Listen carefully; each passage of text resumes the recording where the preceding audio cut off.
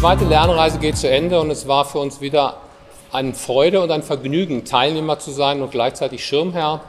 Und es war ganz offen gesagt ganz anders, als wir es alle erwartet haben. Corona hat uns einen großen Strich durch die Rechnung gemacht. Erst wurden viele Veranstaltungen verschoben und dann war ich selber überrascht, wie gut es lief. Wir haben neue digitale Formate, Videoaufnahmen, Interviews vor Ort.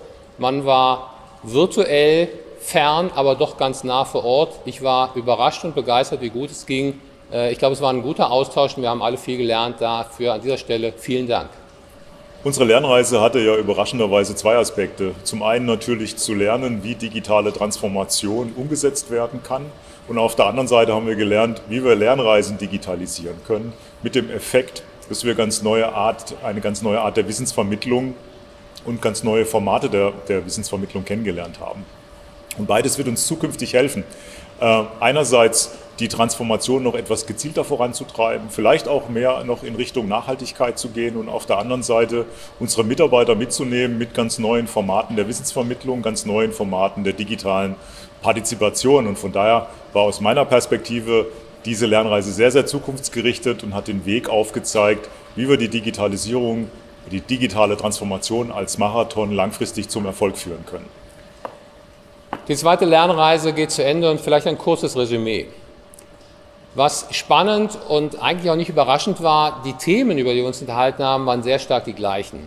Einbeziehung der Mitarbeiter, technische Sachen, Standardisierung, äh, Investitionen, Pilotprojekte und ähnliches.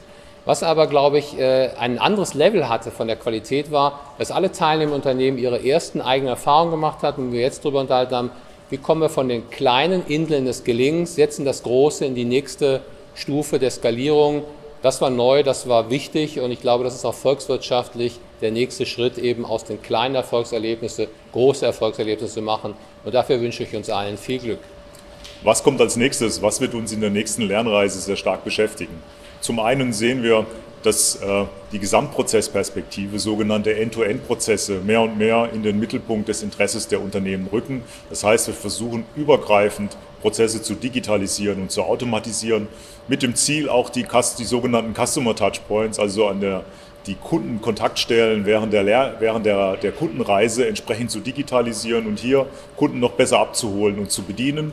Auf der anderen Seite in diesem Zusammenspiel sehen wir eben auch die Bedeutung von neuen Geschäftsmodellen, über die wir in der Vergangenheit sehr oft geredet haben.